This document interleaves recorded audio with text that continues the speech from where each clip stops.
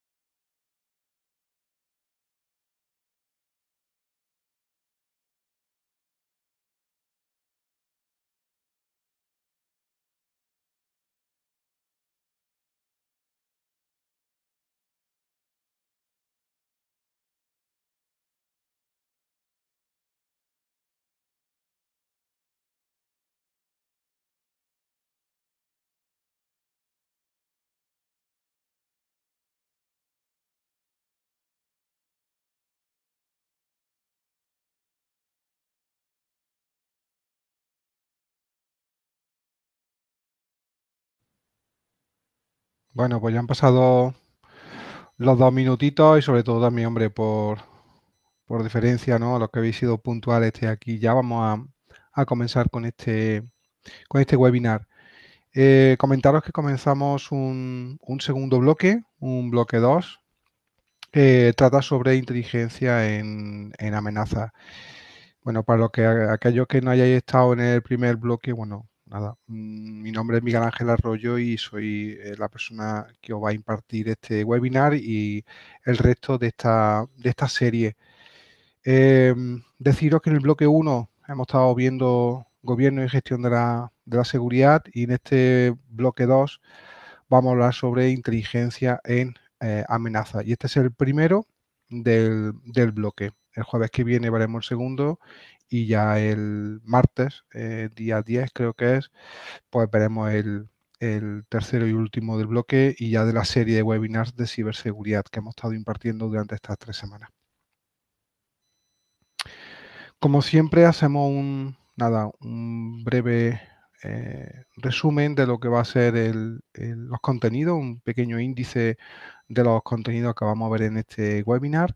Está dividido en tres apartados. Un apartado de, introducción al Threat Intelligence, a la inteligencia en amenaza. Eh, un poco, bueno, de introducción a lo que es inteligencia, adversarios. Hablaremos nuevamente sobre amenaza, eh, amenaza avanzada y grupos APT. Luego saltaremos a un, a un segundo bloque, o sea, pero un segundo apartado donde profundizaremos un poco más en estos grupos APT y también eh, daremos paso a un concepto muy importante en esto de la inteligencia en amenaza, que es la defensa activa. Y por último, en el tercer apartado, hablaremos sobre las diferentes eh, plataformas y herramientas que hay de, de, CTI, de Cyber Threat Intelligence o de inteligencia en amenaza, o ciberamenaza en este caso, y también eh, hablaremos sobre deception, ¿no? de cómo engañar en este caso a, los atacantes. Pues bien, comenzamos con este primer apartado sobre eh, introducción al Threat Intelligence, ¿vale? Para que, bueno, todos estemos ubicados, ¿no? Y sepamos de lo que estamos hablando y cómo aplica todo esto en el mundo de la ciberseguridad. Em, si había estado en, webinars del primer bloque, sobre todo en el, primer y segundo webinar sobre eh, gobierno y gestión de la, seguridad, em, vais a ver que de alguna forma vamos a seguir hablando de gestión de riesgos, porque ya creo que lo hemos comentado, que en ciberseguridad o en seguridad de la información, la piedra angular de todo esto es la gestión de riesgos. Luego podremos utilizar em, medidas más técnicas, eh, herramientas, podremos utilizar operaciones que sean eh, puramente técnicas, ¿no? Pero eh, al final lo que sí está claro que estamos gestionando continuamente riesgos.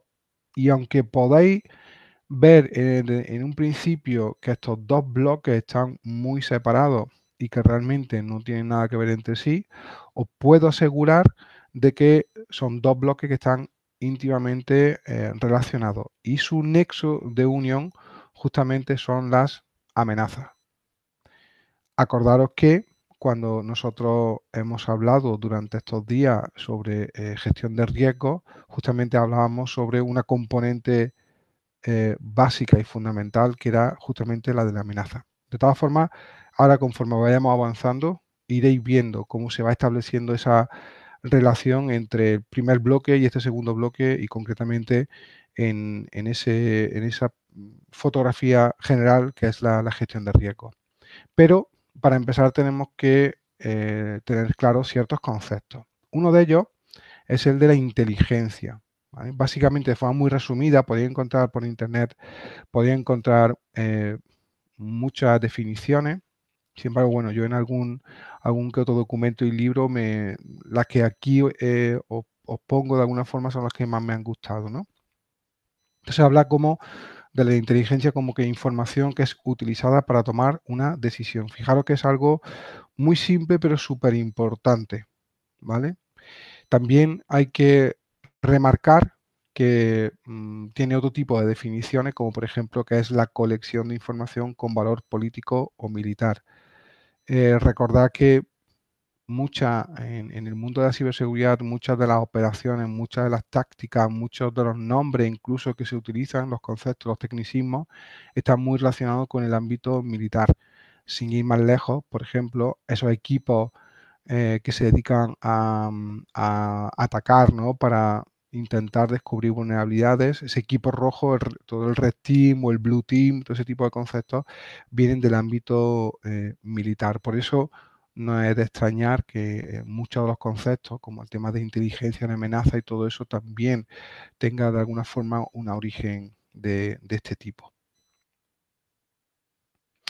Una cosa también que hay que tener muy en cuenta y hay que diferenciar muy bien lo que es la información y también obviamente lo que es eh, la, inteligencia. De hecho, si no hay ningún, si no aportamos ah, ningún tipo de valor, o mejor dicho, la información en sí no aporta ningún tipo de valor, no deja de ser simplemente información. Es decir, no va a ser inteligencia. Inteligencia es mucho más. Ahora después veremos más adelante, veremos, bueno, justamente quería que era más adelante, pero justamente esta diapositiva, el ciclo de inteligencia, que es, eh, estáis viendo que es eh, cíclico y estáis viendo que en una primera eh, fase, digamos, es una fase de planificación y de preparación de cómo vamos a llevar a cabo este proceso de inteligencia. Luego una segunda fase de obtención de información. Una tercera fase de análisis de esa información que nosotros hemos obtenido. Luego una fase de integración y de inteligencia, es decir, ya extraemos de ese análisis, extraemos la inteligencia que nosotros queríamos y la vamos ya de, alguna forma integrando en nuestro sistema. Y finalmente hacemos difusión a aquellas partes interesadas en recibir esa inteligencia que acabamos de eh, generar. ¿De acuerdo? Y esto sería de forma cíclica. A cada una de estas, digamos, eh, de estos procesos se, eh, sería aplicable por cada una de las fuentes de información que nosotros podamos tener. ¿De acuerdo? Como decía al principio en la introducción, todo gira en torno a las amenazas. Es decir, este es el punto, el nexo de unión entre ese primer bloque que hablamos, fijaros que hablamos sobre todo de, seguridad de la información, de ciberseguridad, pero de un, de un nivel más táctico. Acordaros que diferenciamos el, digamos, el plano operativo del plano eh, táctico o estratégico incluso, si hablamos de gobierno. Y, ahí definíamos la estrategia, el cómo eh, la organización iba a gestionar los riesgos. Conforme íbamos bajando, eh, veíamos que para hacer una evaluación correcta del riesgo, teníamos que aplicar esa famosa formulita, ¿no? De riesgo es igual a probabilidad o impacto por cada una de las amenazas que nosotros hubiésemos identificado eh, que pudieran afectar a los activos, ¿no? Los activos, esos críticos, esos que dan soporte a los procesos de, de negocio o procesos industriales, ¿vale? Que ya vimos el otro día también en la ciberseguridad industrial. Bien, para hacer ese cálculo, fijaros que el factor de la probabilidad es algo que muchas, muchas veces no es fácil de calcular o de estimar. Eh, podemos hacerlo basándonos en datos históricos de, oye, ¿cómo voy a saber yo la probabilidad, cómo voy a saber yo la frecuencia de que esto puede ocurrir si nunca ha ocurrido, ¿no? O si la última vez que se cayó el servidor de correo fue el año pasado, pues, comparando, pues que hace un año puedo decir que la frecuencia que tiene es de una vez al año, ¿no? Y a partir de ahí, acordaros que teníamos unas tablitas de cómo calcular los riesgos y le damos unos valores.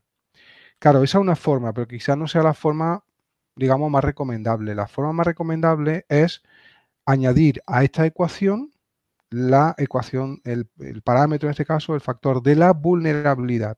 Es decir, nosotros identificamos esa amenaza, pero ahora tenemos que evaluar si existen vulnerabilidades en ese activo que actúen como facilitadores para que esas amenazas se puedan llegar a materializar. ¿De acuerdo?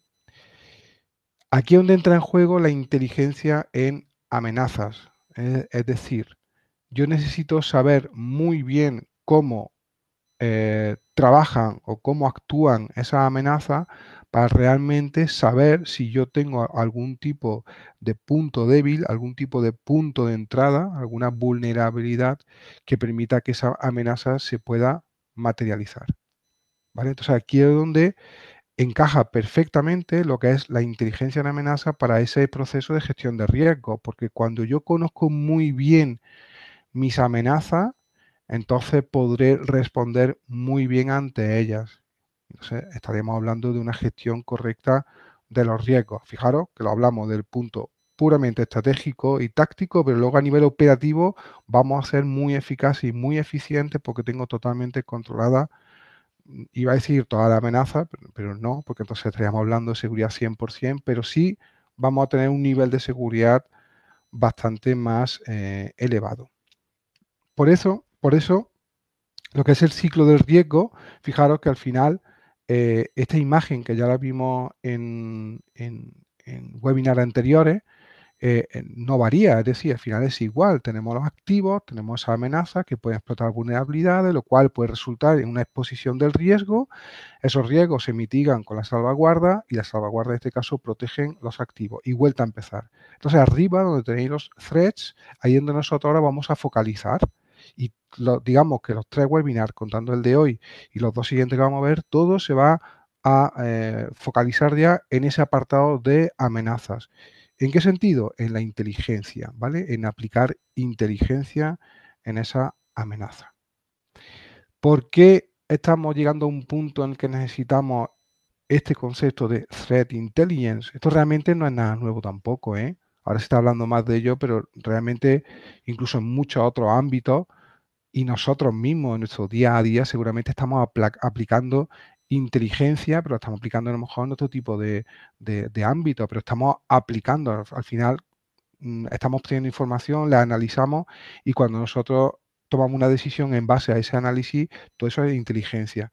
Bueno, pues todo esto aplicado a, ciberseguridad y en este caso a la amenaza, todo esto empieza a ser muy, eh, digamos, necesario porque tenemos un problema y es que a día de hoy los, digamos que los mecanismos habituales que nos podemos encontrar en las organizaciones, como pueden ser, por ejemplo, el antivirus y el firewall, pues ya no son suficientes para parar toda la amenaza, o por lo menos las amenazas que son cada vez más complejas.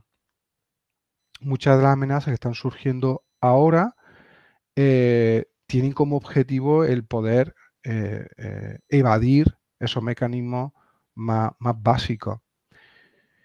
Todos los casos que estamos eh, escuchando de organizaciones que han sido víctimas de ransomware, os puedo asegurar que hay muchas de ellas que contaban con los mecanismos habituales, con este antivirus, con este firewall. Sin embargo, ya os digo, al final mm, estas amenazas complejas eh, van más allá y son capaces de evadir esas protecciones.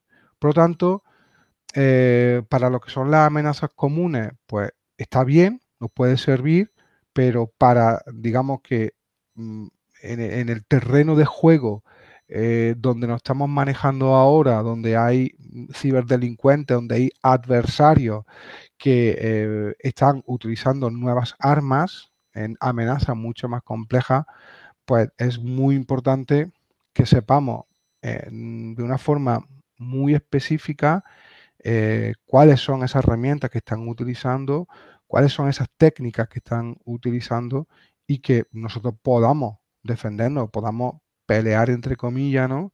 En esa batalla, en esa ciberbatalla que estamos continuamente manteniendo con los malos, podamos defendernos con, en igualdad de condiciones casi, ¿no? Porque si no, tenemos la, batalla, la tenemos perdida.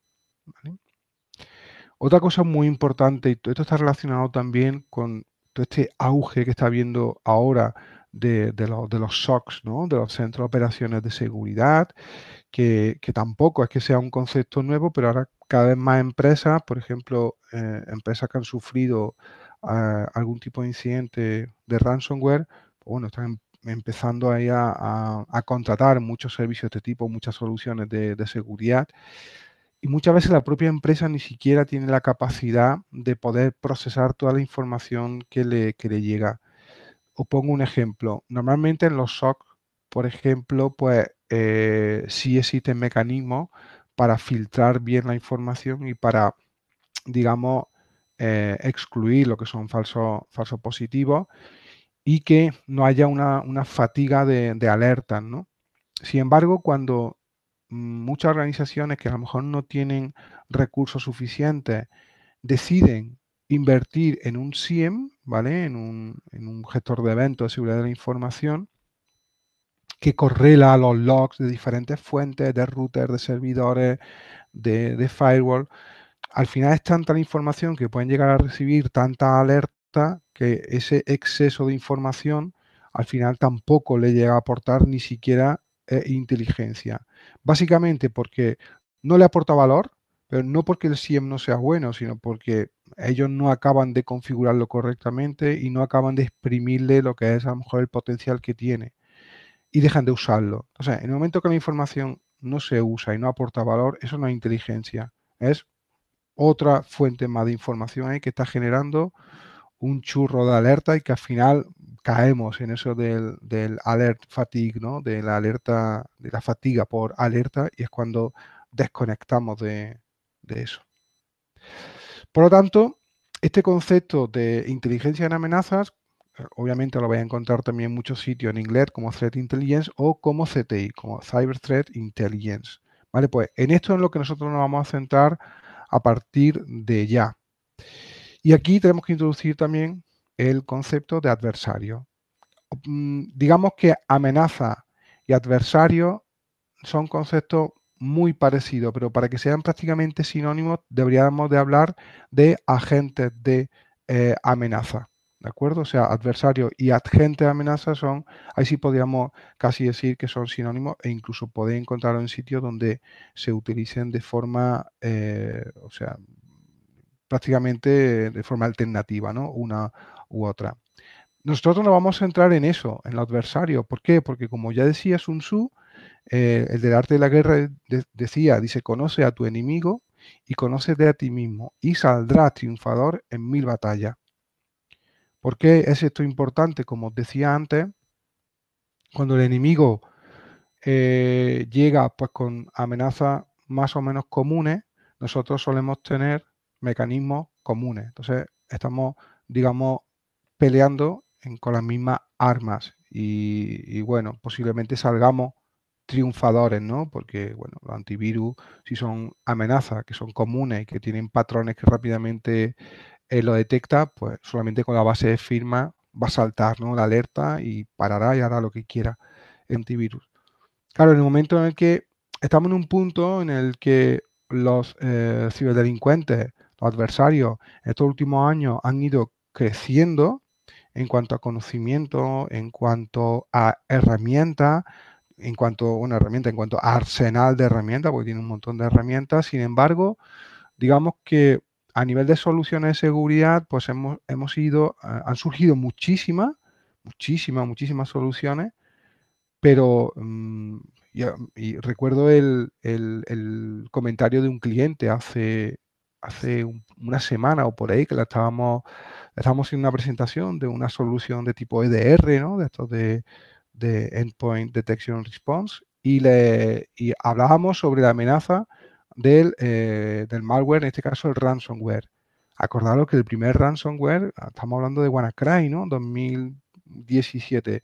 Son casi cuatro años ya, o creo que ya son cuatro años porque eso fue en mayo más o menos 2017. Eh, y decía, dice, es que yo no me explico cómo eh, han salido tantas soluciones de, de, seguridad, cosas tan avanzadas, cosas, dice, y que no hay una solución que sea capaz de parar al 100% el ransomware. Y es verdad, es decir, es un comentario que, nos tiene que dar también a, pensar, ¿no? Y sobre todo nos tiene que de alguna forma poner en, en alerta, ¿no? Porque es tiene toda la razón del mundo. No hacemos nada más que meter, meter, meter soluciones y al final seguimos cayendo, ¿no? Muchas organizaciones siguen cayendo y siguen teniendo em, eh, incidentes de, este tipo. Por eso es importante esto, ¿eh? el conocer bien las amenazas para que estemos todos, digamos, en las mismas condiciones. El objetivo principal del Threat Intelligence es entender cómo piensan los, nuestros adversarios, cómo actúan y qué van a hacer o qué hacen, de forma que podamos defendernos mejor. ¿Vale? Siempre lo que vamos a intentar es que nuestras defensas sean lo más eficaces posible. Para ello no tenemos más remedio que aplicar eh, esa inteligencia de amenaza para poder defendernos mejor. Eh, el plano táctico. ¿Por qué el plano táctico? Porque hasta ahora nosotros lo que hemos hecho ha sido pensar siempre en el plano operativo. Siempre hemos pensado en eso, en tengo que, una organización tiene que defenderse de adversario, tiene que defenderse de amenaza y enseguida lo primero que, mm, digamos, piensa es eh, en esas soluciones técnicas como son firewall o son antivirus. Sin embargo, tenemos que pensar también, tenemos que tener algún tipo de estrategia, tenemos que tener algún tipo de táctica que vaya más allá de esos antivirus y de esos firewall. Y está visto, o sea, está visto que hoy en día no es suficiente en contener eso. Y no estoy hablando de que tengamos que meter más soluciones. La solución aquí no es, oye, ¿qué tienes? Eh, ¿Firewall tiene antivirus? Pues mira, tienes que ponerle un SIEM, tienes que ponerle un SOAR, tienes que ponerle un WEBA, tienes que ponerle EDR. No, esa no es la solución muchas veces. Que podemos aplicar esa defensa, digamos, por capas, vale, pero muchas veces la solución la tenemos en la propia infraestructura que tenemos, en la seguridad del propio sistema operativo que estemos utilizando, en la seguridad de la propia infraestructura de red que estemos utilizando. No hace falta a lo mejor incluir nuevas soluciones e invertir en eso. A lo mejor hay que invertir tiempo o dinero si contratamos esa configuración segura en, este tipo de cuestiones. ¿De acuerdo? Bien, ¿cuáles son las claves entonces en esto de inteligencia en amenaza? Las claves son estas tres que os he puesto aquí. Obviamente amenaza, porque para nosotros es el factor, digamos, eh, principal dentro de esta gestión de riesgo. Porque acordaros que no salimos, ¿eh? vamos a hablar en este webinar de, de cuestiones más técnicas, pero no salimos, estamos dentro de esa burbuja de gestión de riesgo. Los adversarios y obviamente toda la inteligencia que nosotros vamos a aplicar en ello.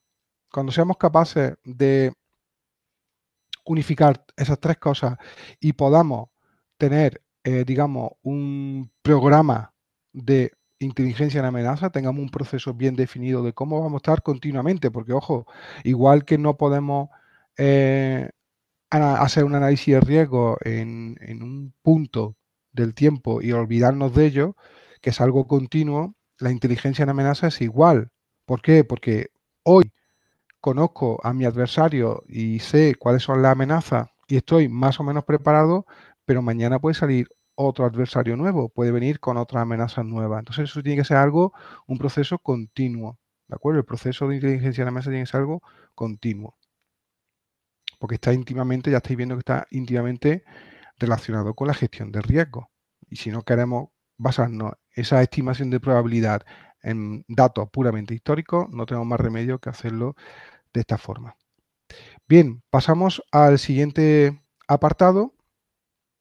Y aquí vamos a hablar sobre lo que son los grupos eh, APT y el concepto de defensa activa.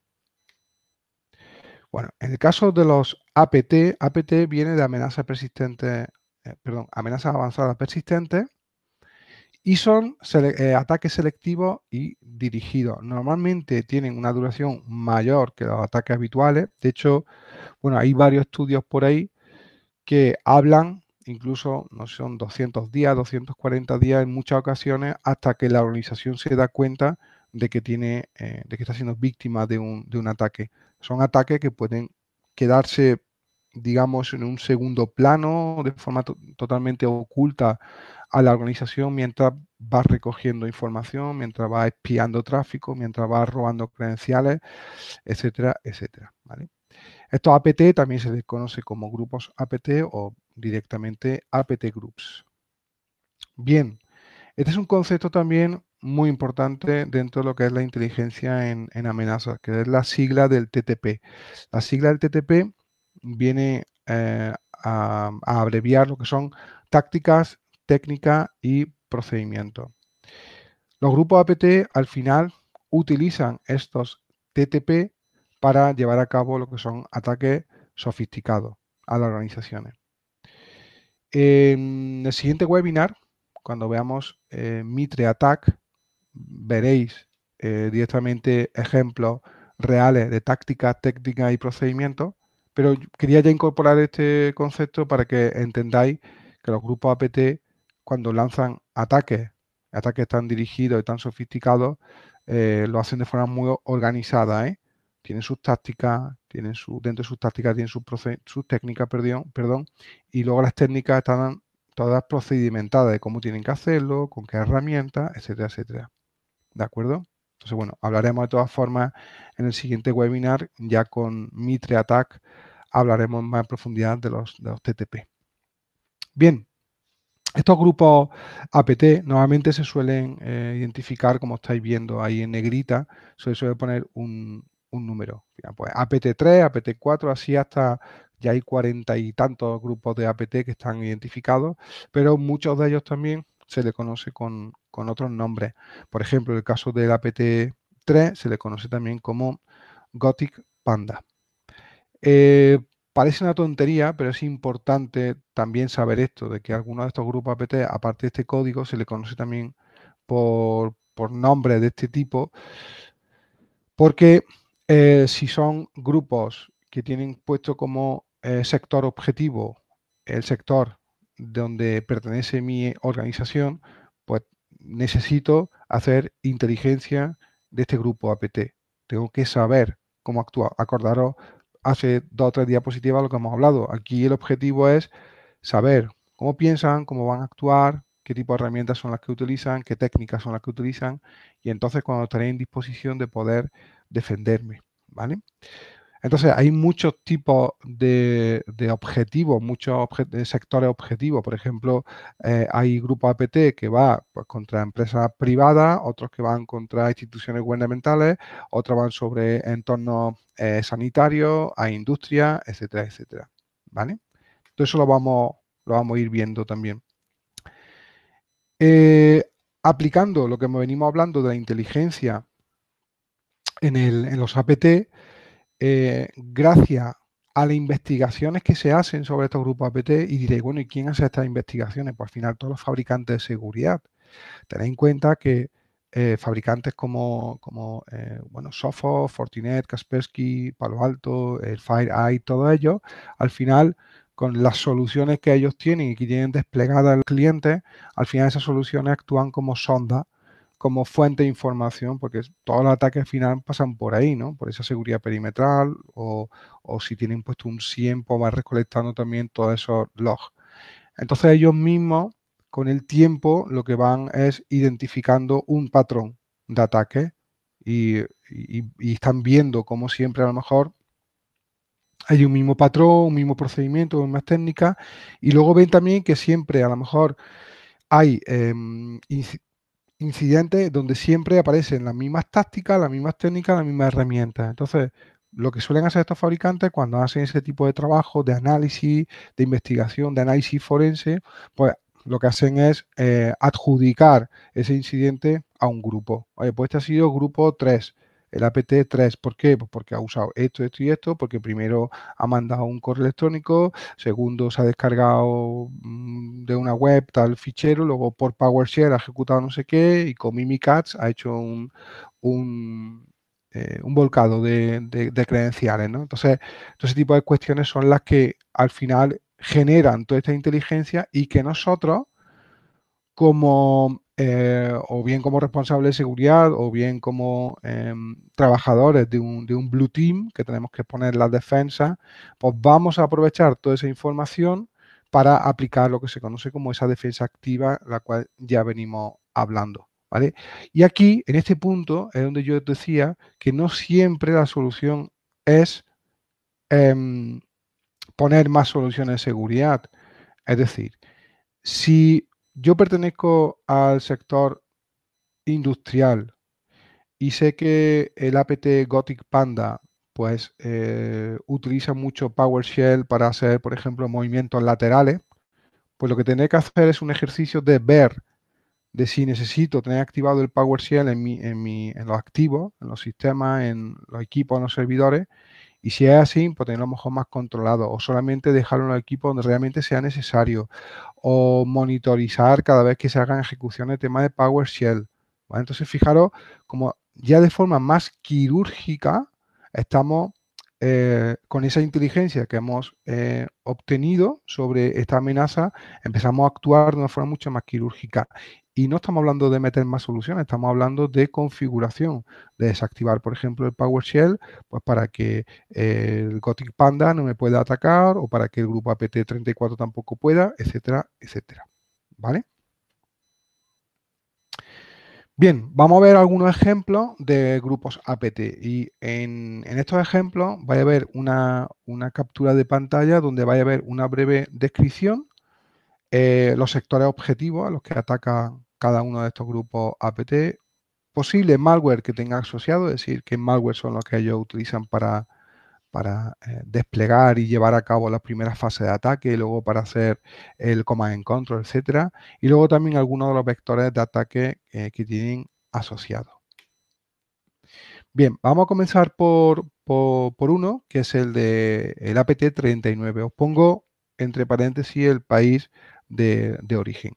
Pues bien, en este caso se trata, como podéis ver, lo que son los nombres, los grupos de APT, pues todos tienen, eh, digamos, un número al, lado, que es el número que lo identifica. Actualmente, no sé cuántos son ya, pero creo que son casi 50 grupos APT lo que hay, por lo menos 40 y tantos hay. ¿vale? Este concretamente, como eh, podéis ver en, el, en lo que es el target sector, ahí os va a poner si están dirigidas, por ejemplo, a, organizaciones gubernamentales, a, del sector de educación o lo que sea. Aquí en este caso, por ejemplo, pues van al sector de telecomunicaciones, al sector eh, industrial y a, empresas también tecnológicas. ¿vale? Entonces, si yo soy una empresa de alguno de estos sectores, para mí el grupo APT33 es una amenaza, ¿vale? Ellos son adversarios. A continuación, ¿qué es lo que tendría yo que hacer? Bueno, pues también mirar un poco a nivel de resumen qué es lo que han estado haciendo, cómo lo hacen, pero sobre todo mirar el malware, ¿vale? Donde viene Associated Malware, que tenéis en el tercer párrafo, ahí ver cuál es el malware que ellos utilizan normalmente. Y aquí puedo ver pues, el Seaweed, el Cachimoni, el PowBat, y si indago más dentro de las técnicas, todo esto no os preocupéis, porque justamente este webinar de hoy es una introducción a inteligencia de la amenaza y eh, toda esta información y de una forma mucho más organizada, en el siguiente webinar eh, que vayamos a ver, vamos a ver en Mitre Attack, que justamente es un, una, bueno, son matrices donde vamos a poder ver de forma mucho más eh, ordenada y organizada toda esta información. Pero es para que entendáis simplemente lo que son los APT y la información que nosotros podemos eh, eh, obtener con ello. ¿no? Aquí ya para terminar con este ejemplo, en el último párrafo, al final, podéis ver también cómo una de las cosas que suelen también atacar es el propio OWA, el, Outlook Web Access, por ejemplo. ¿Vale? Pues sí, con todo. Vamos a pasar a otro para que veamos varios ejemplos. Tenemos aquí el APT41. Este tiene, bueno, se atribuye de que están en, en China, ¿vale? Y bueno, aquí si miramos en el primer párrafo, digamos que eh, estamos ahora mismo en, la, en el punto en que quiero ver si este grupo APT puede ser adversario, puede ser una amenaza para mí, ¿no? Entonces me voy aquí y miro eh, en qué sectores atacan. Bueno, pues en el de viaje, en el de medio de comunicación, eh, educación también. Bueno, pues lo mismo, si yo pertenezco a alguno de estos sectores, bueno, pues tendré también que tener en cuenta y ver, por ejemplo, cuáles son los posibles eh, amenazas que tengo. Bueno, pues aquí, mirad, en el vector de ataque, APT41 utiliza spear phishing. Es decir, spear phishing es el phishing de suplantación, pero dirigido. Entonces, cuando son dirigidos, son correos muy elaborados, suplantando a alguien, posiblemente copiando la firma del correo, o sea, muy bien hecho para intentar que el, destinatario caiga en la trampa, ¿no? Y en este caso, caiga en la trampa y que abra un ficherito, un ficherito eh, eh, compilado HTML que tiene una extensión CHM para comprometer en este caso a la, a la, víctima y una vez que está comprometida pues ya puede desplegar otro tipo de TTPs para descargarse algún tipo de, de, troyano, de malware, ejecutar a lo mejor algún tipo de PowerShell y aquí pues como podéis ver pues eh, muchas de las piezas de malware que aquí utilizan pues son precisamente backdoors, ¿vale? Puertas traseras, eh, herramientas de robo de credenciales, keyloggers para, eh, o sea, para capturar las pulsaciones de teclas, rootkits, etcétera, etcétera. E incluso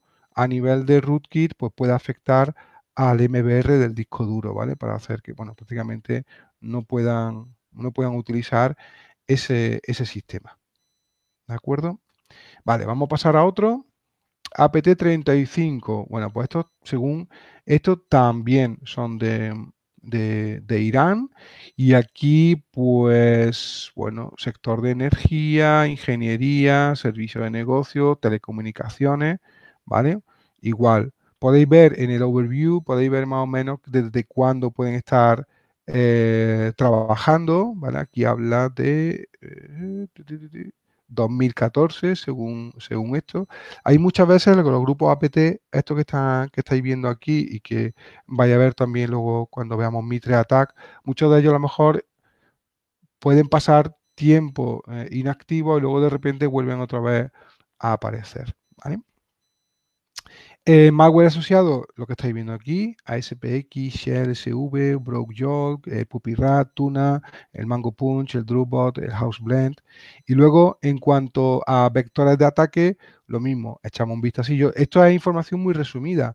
Cuando eh, nosotros veamos el Mitre Attack, vaya a ver que podemos filtrar por grupos APT y, y no va a salir en el Mitre Attack, no va a salir exactamente qué técnica es la que utilizan. Aquí Ah, de, forma más resumida, pues bueno, habla aquí de robo de contraseña y de ataques a, aplicaciones web.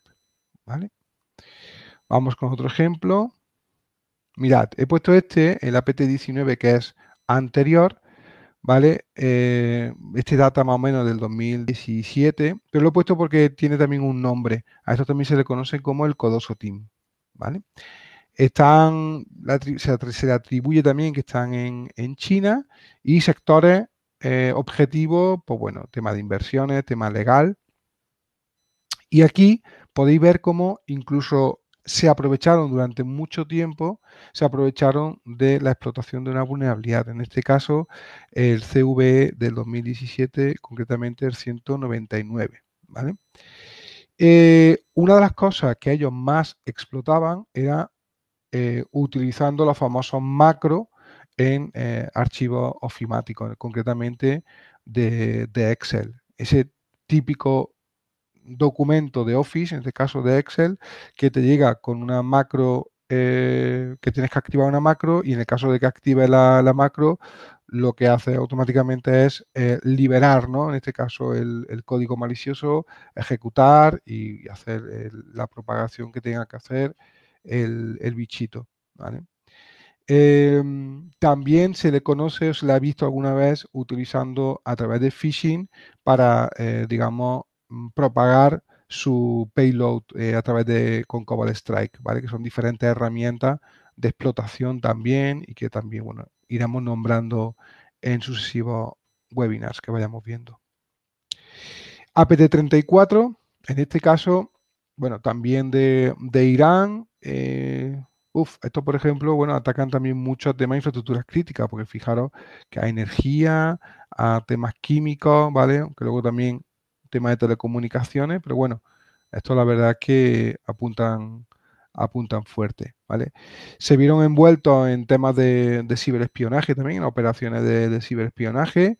Se habla de, de que están, digamos, actuando desde al menos 2014 y eh, en cuanto al malware asociado, eh, tenía aquí el PowBat, PowRunner, el, el Updater. Y aquí también tenéis en vectores de ataque el que aprovechaba una vulnerabilidad también de 2017, en este caso el 11882, ¿vale? Que lo que hacía era desplegar el, el PowRunner.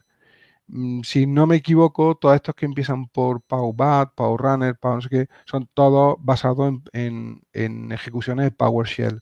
Por eso es muy importante, vaya a ver que en, muchas de, de los grupos APT que vamos a ver y que luego vaya a ver en el Mitre Attack, muchas de ellas utilizan como, técnica eh, la ejecución de código de, PowerShell.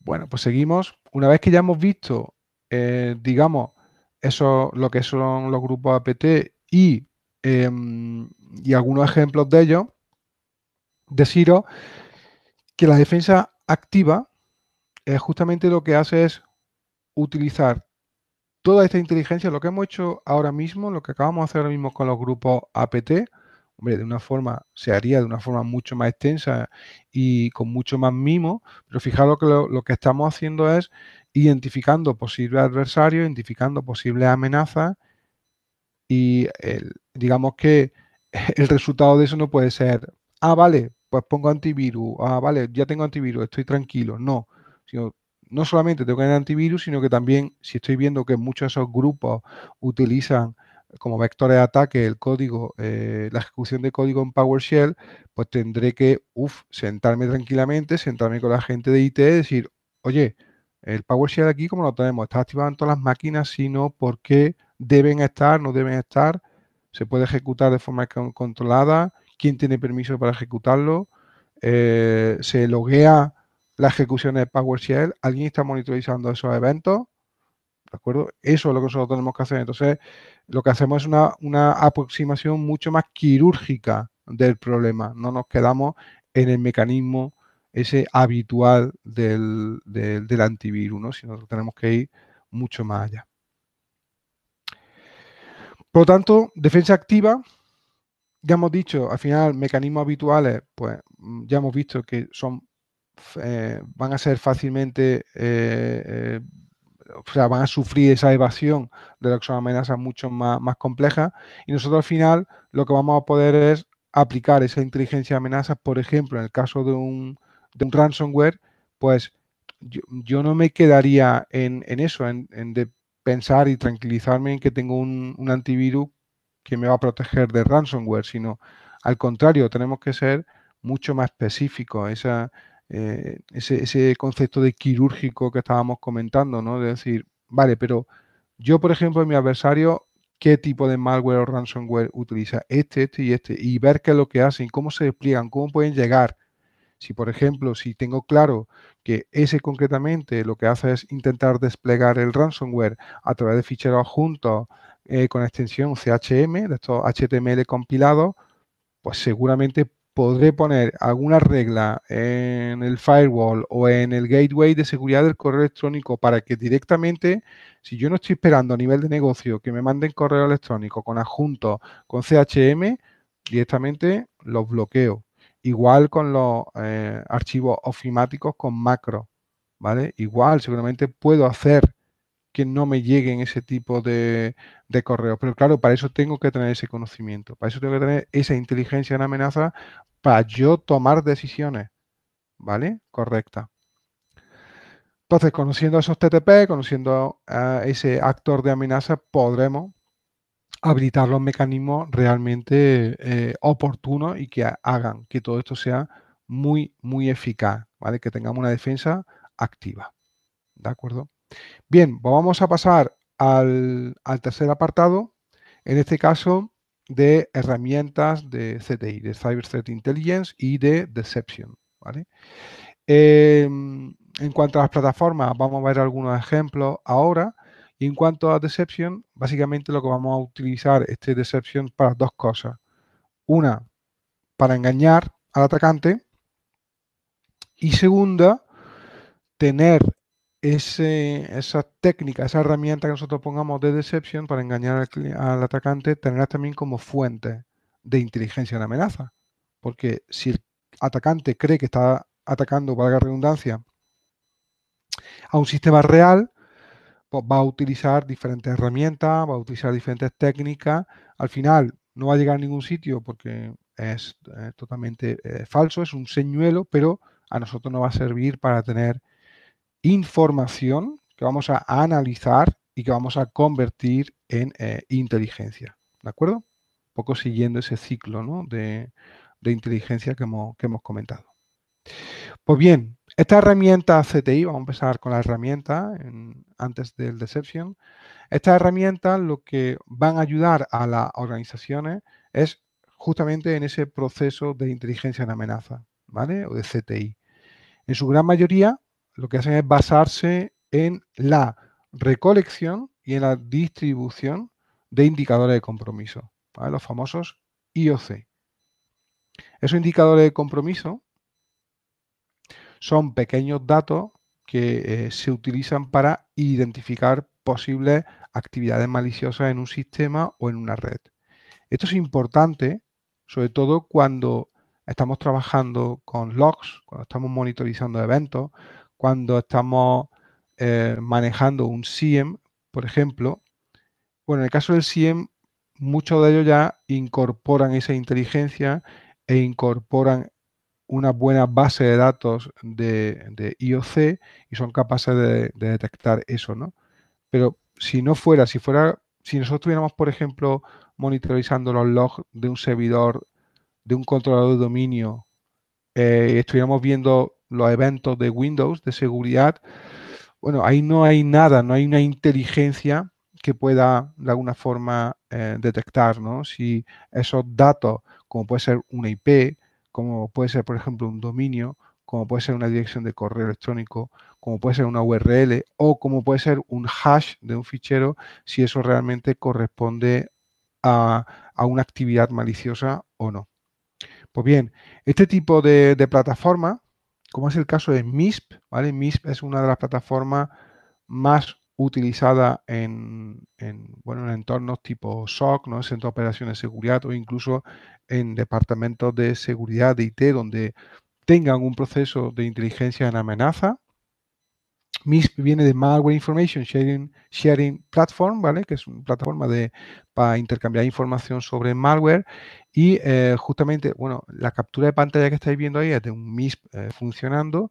Y ahí tenemos diferentes, digamos, eventos, ¿no? Que nosotros vamos recibiendo.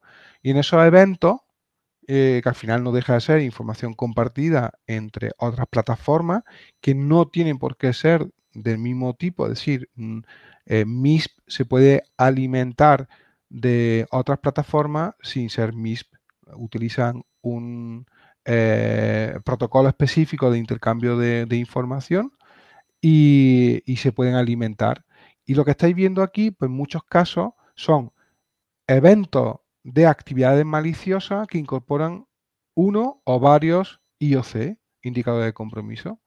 Y ahí nosotros podemos consultar, pues, cuál es ese IOC, si es una IP, si es un dominio, si es una URL, si es un correo electrónico o si es un hash de un fichero. ¿De acuerdo?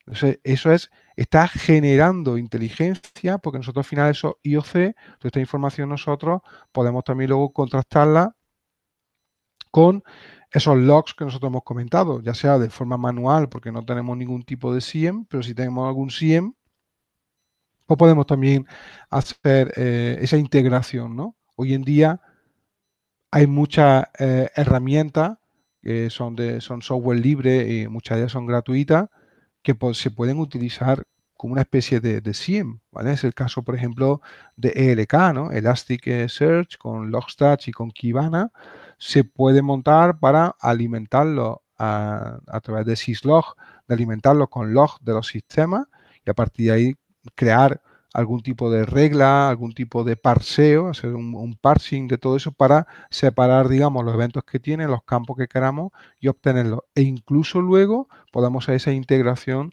con eh, otras herramientas, otras plataformas de, CTI, ¿no? Entonces, fijaros que realmente y ahí no hay una inversión, hay muchas veces podemos tirar de software libre, como es el caso de MISP también, ¿eh? que no tiene, en este caso pues, se puede utilizar de forma eh, gratuita también.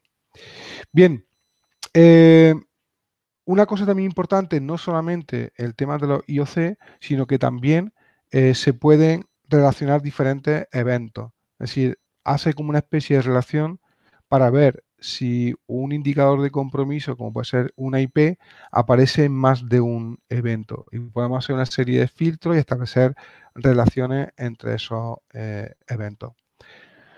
Por lo tanto, esta herramienta hay muchas más, ¿eh? muchas más herramientas de este tipo, pero bueno, esta creo que es de las más potentes que hay, también es de las más utilizadas y yo creo que es una herramienta fundamental para aquellas organizaciones que em, quieren madurar en el apartado de seguridad de la información, quieren hacer una gestión de, la, de riesgo mucho más eficaz a través de esa inteligencia de amenaza, debe de tener una herramienta de, este tipo, ¿vale? Que le, facilite ese, proceso.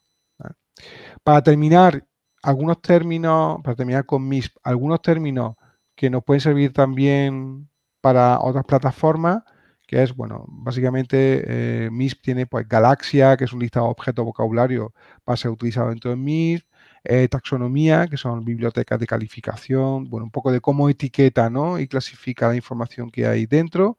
Un evento, no deja de ser un conjunto de, IOC que viene de alguna fuente en la que nosotros nos hayamos enganchado. Esa es otra cosa. Nosotros no podemos enganchar a multitud de fuentes. ¿Vale? Eh, pues el CESIR de Luxemburgo, el CESIR de Bélgica, todas aquellas fuentes que sean, sean abiertas y nosotros nos podemos conectar a ellas, nosotros podemos alimentarnos de toda esa información. Imaginaros como un, un CESIR, por ejemplo, de un país, la cantidad de información que tiene ¿no? a nivel de, IOC. Pues podemos, podemos nosotros también alimentarnos de esa fuente, de ese, de ese feed, ¿no? como aparece ahí en, azul. Luego tenemos una serie de, módulos que nos sirven también eh, para integrar y para eh, integrar otras fuentes que a lo mejor no son no son las habituales, que no tienen una configuración eh, por defecto. Y luego también tenemos una warning list, una lista de, indicadores que nos pueden servir para aislar posibles falsos positivos, errores o algo que nos hayamos confundido. ¿vale? Todo esto al final son conceptos que nos sirven para, bueno, para eso, ¿no? Para ir madurando el propio, la propia herramienta también y hacerla mucho más, más efectiva. He hablado antes de, LK, de lo que es eh, Elasticsearch con Logstash, con Kibana, ¿no? Bueno, porque sepáis también que eh, hay otras plataformas que podemos utilizar también para, esto, que es, por ejemplo, Elastic Security, donde ya tenéis incluso algunas reglas ya predefinidas que eh, están preparadas ya directamente para entender y para categorizar y para parsear eh, la información proveniente, por ejemplo, de un endpoint security o, por ejemplo, de, un evento cuando eh, se han eliminado logs de sistemas Windows. Entonces ya viene preparado y nosotros ni siquiera tenemos que em, tenemos que crearlo, sino que ya son reglas que vienen creadas con una etiqueta y nosotros simplemente la activamos o la desactivamos. Y os recuerdo que es open source, ¿vale? También. Por tanto, para empezar estaría bastante eh, interesante. Bien, para, para ir terminando este, este apartado, comentaros también el tema del eh, Deception. Deception, bueno, es el conjunto de, de técnicas, de herramientas que una eh, organización puede utilizar para engañar a los atacantes mediante el uso de señuelos, de honeypots. Seguramente os sonará honeypots, honeynet.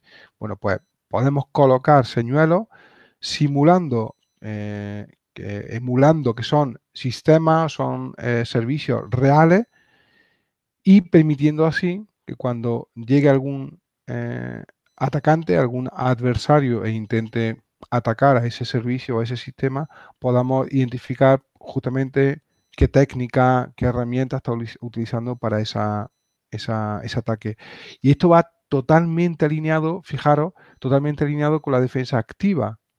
¿Vale? Es decir, nosotros vamos a tener, por un lado, fuentes de ataques reales de nuestros SIEM, de nuestros logs que nosotros veamos, de, plataformas externas con esos IOC de MISP. Sin embargo, nosotros podemos crear nuestras propias fuentes de inteligencia, que es colocando esos señuelos, esos eh, honeypot, ese honeynet, por ejemplo, colocando esos, esos señuelos y obviamente monitorizando todas las actividades maliciosas que ocurren en esos servicios o sistemas que hemos puesto como, como señuelo. Y eso nos va a aportar también mucha eh, información.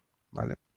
Aquí estáis viendo, esto es un entorno industrial porque realmente lo que son los, honeypots se pueden poner en entornos puramente eh, IT, de oficina, de CPD, pero también eh, en entornos industriales. Entonces, fijaros cómo, digamos, a la derecha tenemos el entorno de producción industrial, lo tenemos protegido en, una burbuja y fuera tenemos puestos esos tarros de miel, ¿no? Donde queremos que, lleguen los ataques, donde queremos que los adversarios eh, prueben y, lancen ataques y utilicen técnicas y herramientas.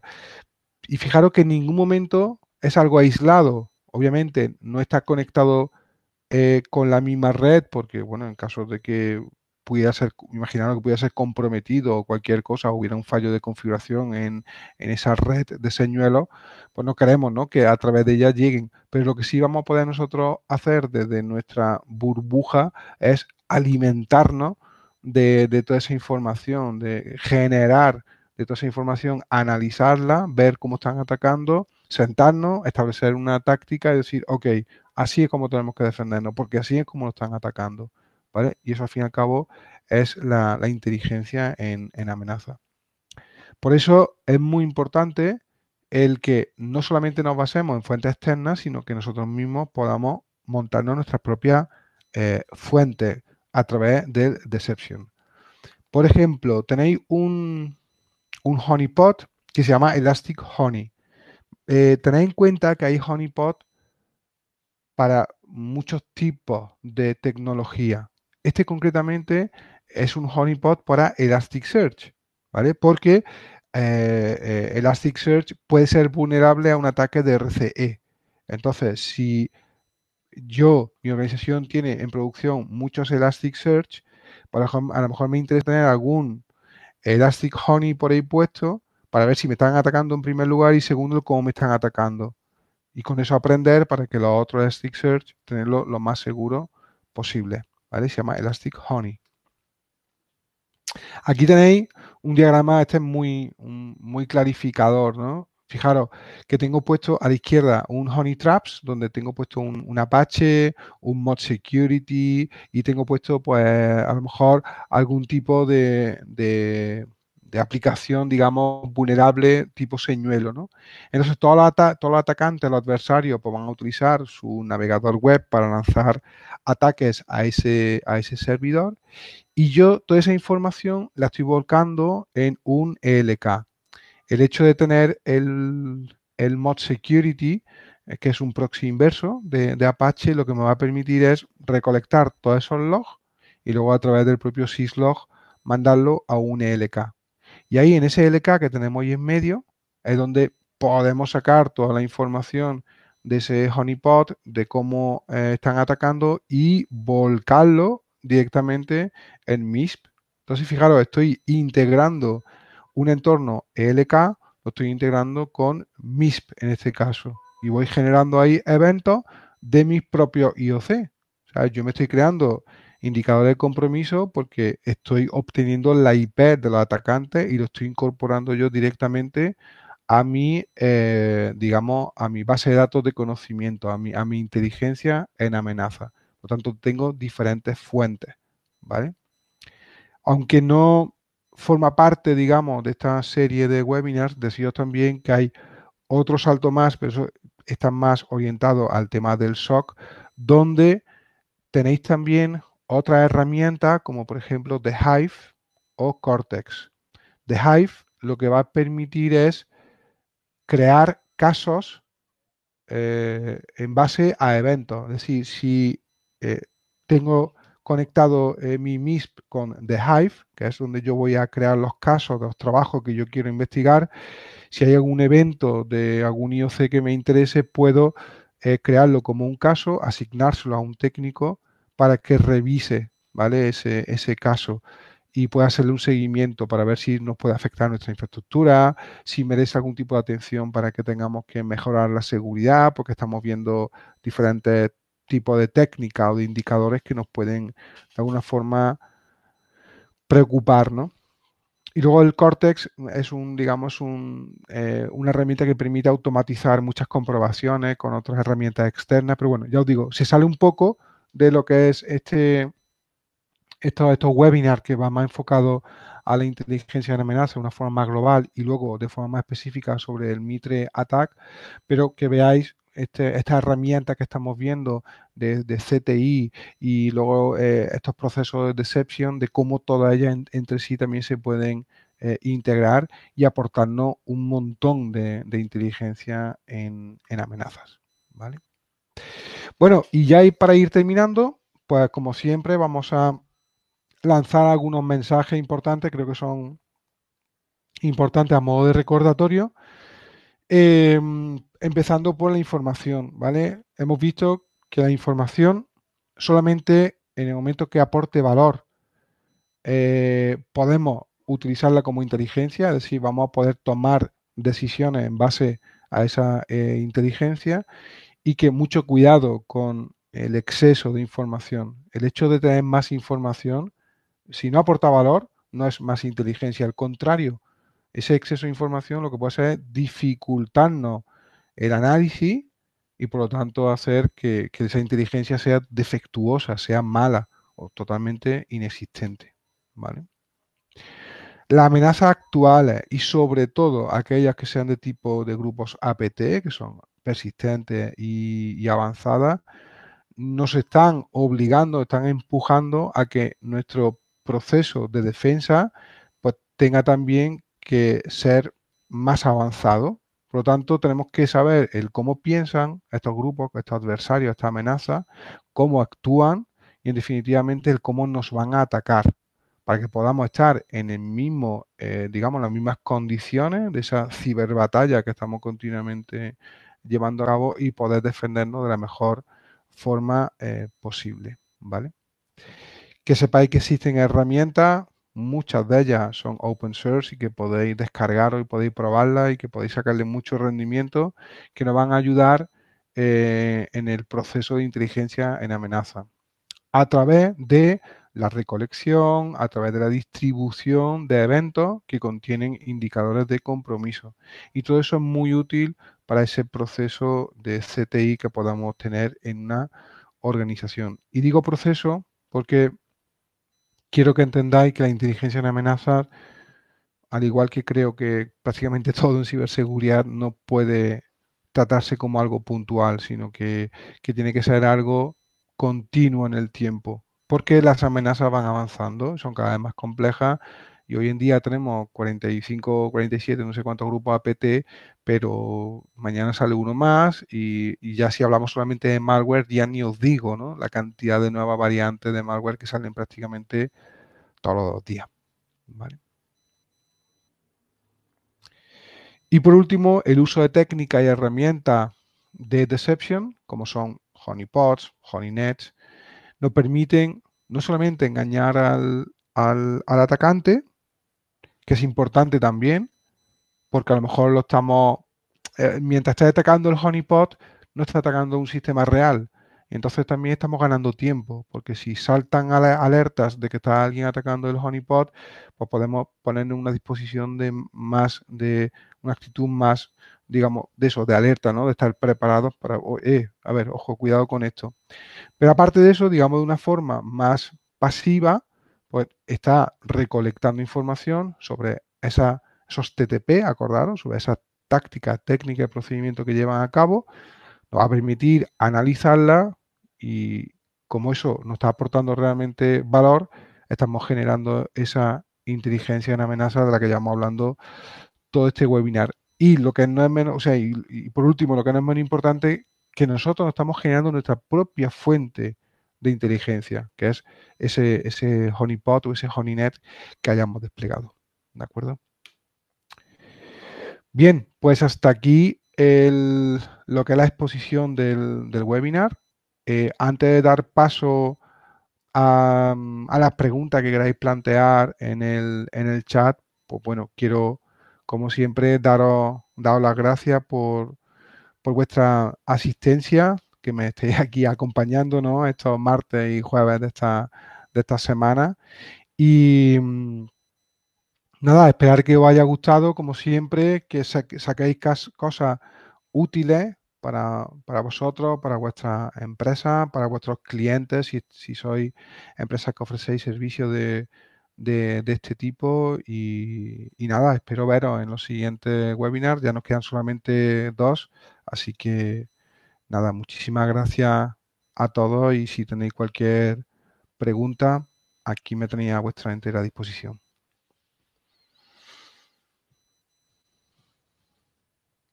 Nada, muchísimas gracias a vosotros.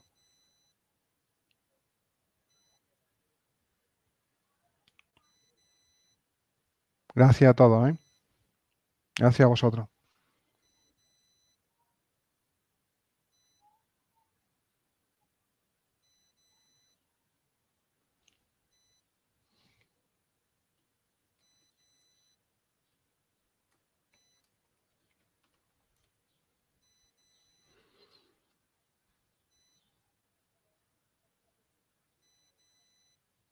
Sí, se a llegar eh, los recursos de los webinars para que lo podáis ver tranquilamente también en, offline.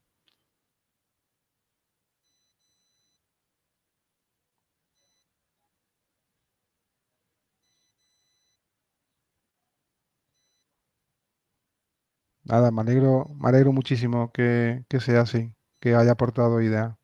Gracias, Felipe, por tu comentario. Me alegro.